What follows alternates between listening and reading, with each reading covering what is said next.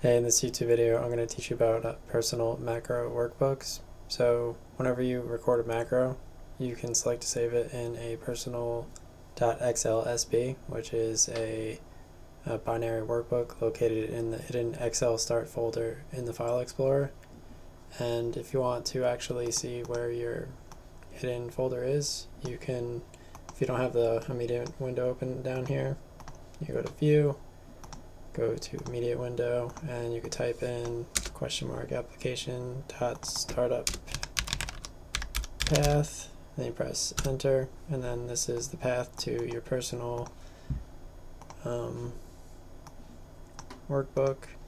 It's a, a, macro and basically um, you can save like the modules when you're closing out and they'll be saved as a part of the personal macro workbook. And you could also add them into the quick access toolbar up here. And I made uh, the icon the smiley face in reference to macro 4 in my macro workbook. So over here in personal.xlsb which is your personal macro workbook if you're wondering what that is.